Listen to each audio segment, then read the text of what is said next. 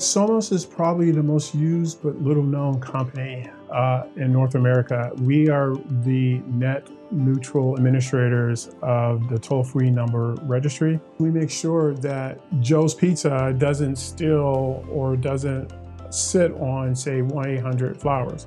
Well, my organization, I uh, am the steward of all the DevOps guys, cloud engineers. The prime directive is how do we get our applications to our customers as fast as possible, as safe as possible. So what we did was, and we drove uh, our requirement is how do I get a monitoring system in place that I can use across my whole enterprise, right? And that's where Catchpoint comes in.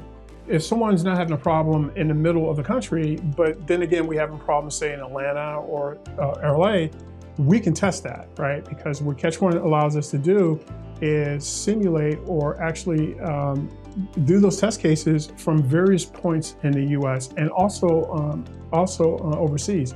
So we have a global um, synthetic test environment that allows us to look at all the things that are going on and whether or not we're having problems in certain segments of the country or having problems with certain segments of the application. The number one thing is customer satisfaction, right? is making sure that our applications are up uh, and running. And if they're having problems, I want to make sure that they phone home as early as possible. Catchpoint usually finds an issue first before all of the rest of the learning stack does, right? Be be before the sort of the back end stuff starts phoning home, usually Catchpoint says, hey, I have a problem here. May not be a big deal, but I can't log in from you know these places.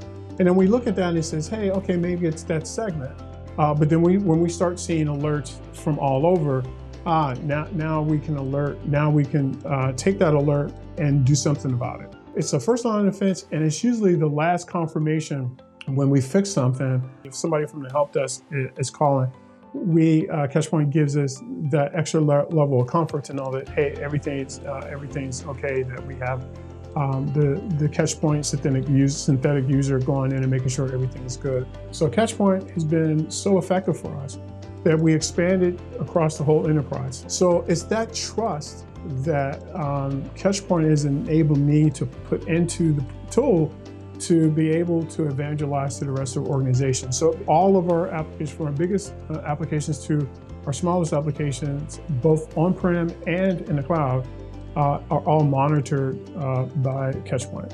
Where Catchpoint uh, really works for us is the back office support, the engineering support. So if I have a problem or one of my engineers have a problem, they usually respond to us way within the SLA and sometimes you know within an hour or so. And so having not only a great tool like Catchpoint, but having the support mechanism and the support team that backs up that tool uh, is tremendous for us.